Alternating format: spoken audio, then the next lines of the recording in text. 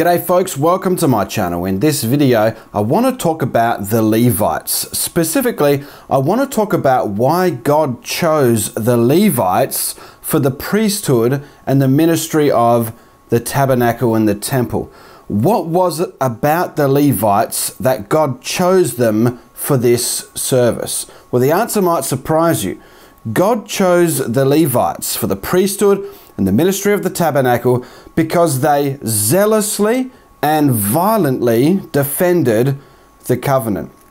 I want to read to you a number of passages of scripture, two from the book of Genesis, one from the book of Exodus, and one from the book of Numbers. And I want to put all these passages together to show you why it is, biblically speaking, that God chose the Levites for the priesthood and the ministry of the tabernacle. The first story that I want to uh, uh read from is in Genesis chapter 34, and it's uh, a story where Jacob is in the land of Canaan and his uh, daughter, one of his daughters, uh, is uh, taken advantage of by a man, and Levi and Simeon get revenge upon uh, the Canaanites for what they did. Let's read this story beginning Genesis 34, beginning at verse 5, and it says this Now Jacob heard that Shechem had violated his daughter Dinah, but his sons were with his livestock in the field. So Jacob held his peace until they came.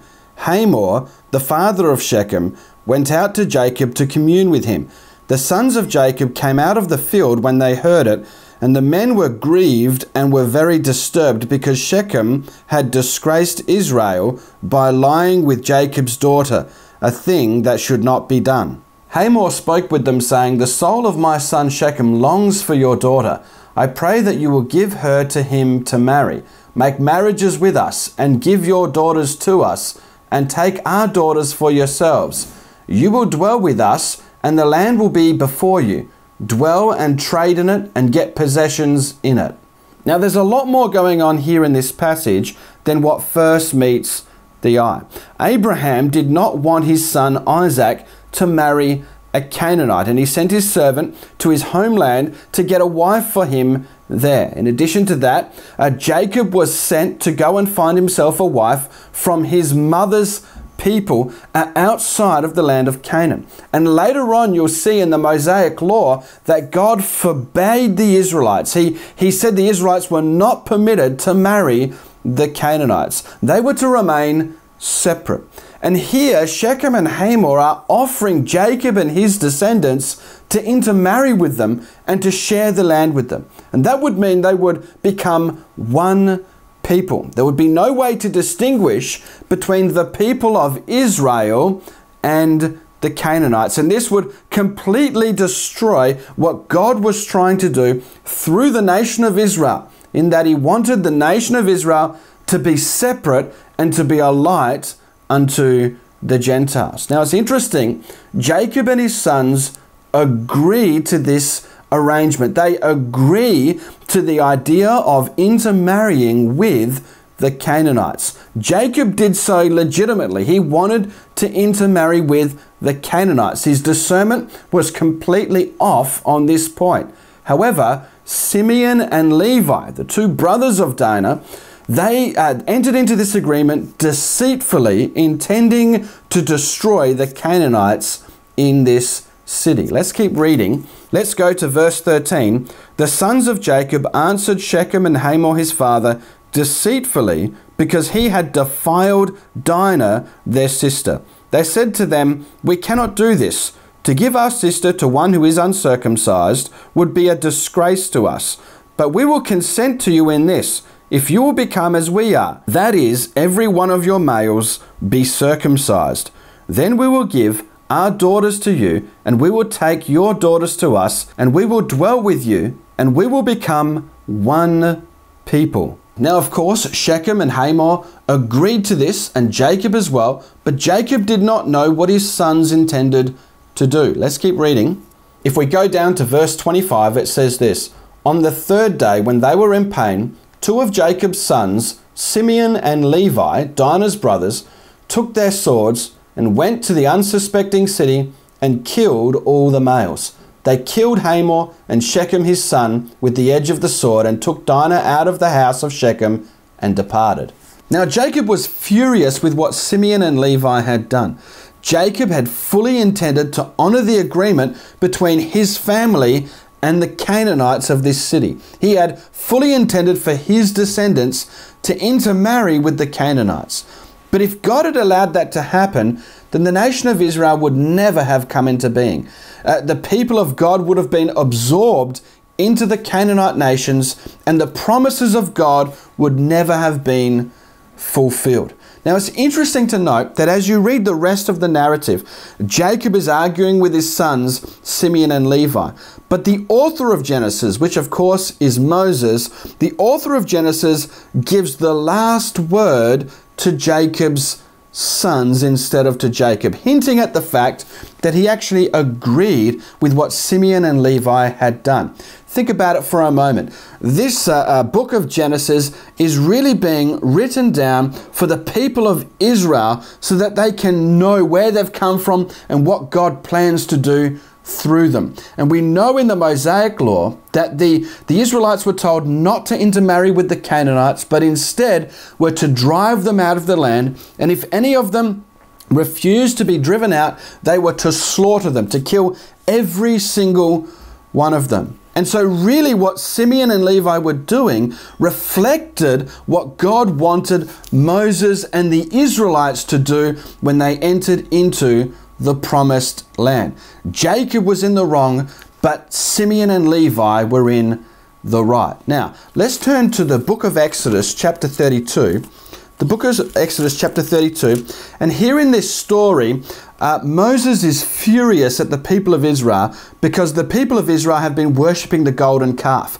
And he smashes the, the stone tablets with the Ten Commandments, he smashes them on the ground. And then in verse 25, he says this Now, when Moses saw the people were in a frenzy, for Aaron had let them get completely out of control, causing derision from their enemies, then Moses stood in the gate of the camp and said, Whoever is on the Lord's side, come to me.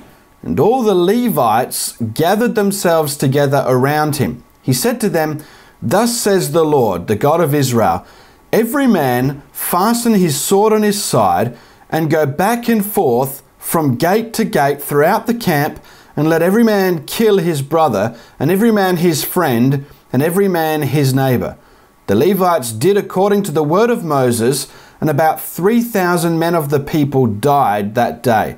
For Moses had said, Consecrate yourselves today to the Lord, that he may bestow a blessing on you this day, for every man opposes his son and his brother. Other translations, such as the ESV, translate this last verse this way Today you have been ordained for the service of the Lord. Here in this passage, the Levites are dedicated to Yahweh. They are dedicated to the Lord because of their fervent zeal and violence. They were violent in their defense of the covenant. And when it says gate to gate, I think it's meaning from tent entrance to tent entrance. And some commentators point out and say that they were to go from tent to tent checking to see who had repented of this idolatry and who was going to continue in that idolatry. And if they were to continue and if they refused to repent,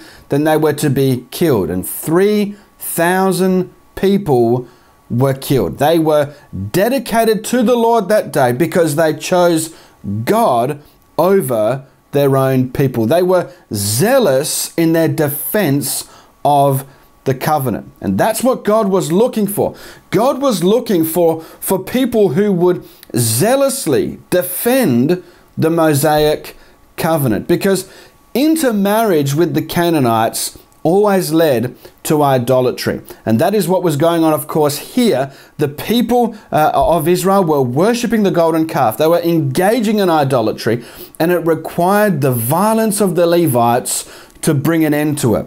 Now, it's interesting, in the book of Numbers, we have also another story where the, uh, the, the Israelites were, uh, uh, again, they were sleeping with the Canaanite women. And as a result, God sent a plague upon them. But some of the Israelites were so brazen that right in the middle of, of uh, the, the, the congregation that was to worship Yahweh, right in the middle of that, uh, they came and, and brought, one man came and brought a Canaanite woman to sleep with her in the sight of everybody. Let's turn to the book of Numbers, Numbers chapter 25, verse 6. Behold, one of the children of Israel came and brought to his brothers a Midianite woman in the sight of Moses and in the sight of all the assembly of the children of Israel, who were weeping before the door of the tent of meeting. When Phinehas, the son of Eleazar, the son of Aaron the priest, saw it, he rose up from among the assembly and took a spear in his hand, and he went after the man of Israel into the tent and thrust both of them through, the man of Israel and the woman through her belly. So the plague was stopped from the children of Israel. Those that died in the plague were 24,000. Now, here you see the zeal, the, the violent zeal in a Levite man, a priest, a son of Aaron, a Levite man. You see this violent zeal when it comes to defending the Mosaic covenant. He took a spear and he speared the Israelite man and the Midianite woman that he was sleeping with. He, he thrust her through with the spear all the way through her belly. And because of this action of this man, Phinehas, because of this, the plague was stopped. The reason why God chose the Levites is because the Levites had a natural propensity to violence in defending the covenant. Now, of course, today we don't defend the covenant through violence. We don't defend the new covenant through physical violence. But nevertheless, we as Christians, and especially ministers, ought to have a zeal and ought to have a fervent uh, zeal to defend the truth of God's word. Many people today are preaching false doctrine and leading people astray. But God wants people who will zealously and fervently defend the covenant. That is what God is looking for in people. And that is why God used the Levites. They were zealously violent in defending the covenant. And of course, as I said, we are not violent in the New Testament, in the New Covenant, but there ought to be a zeal and they ought to be really a, a kind of spiritual violence against apostasy and idolatry in the church. For example, greed is idolatry, the Bible tells us a number of times. And we as Christians ought to zealously oppose fervent spiritual warfare against the false prosperity gospel, just as an example. We ought to be against those preachers and teachers that turn the grace of our Lord Jesus Christ into a license for sin and immorality. We ought to be against the legalists who, who add rules and, and add things on top of faith in order for us to be saved. We ought to oppose works based theology. We ought to oppose anything that is contrary to sound doctrine. We as Christians must never be physically violent, unless, of course, we're defending people, but we are to be spiritually violent in opposing false doctrine and idolatry. I hope you've liked this video. If you have, please consider subscribing. Give me a thumbs up. Hit the bell notification button. I'll see you in the comment section and you'll see me in my next video.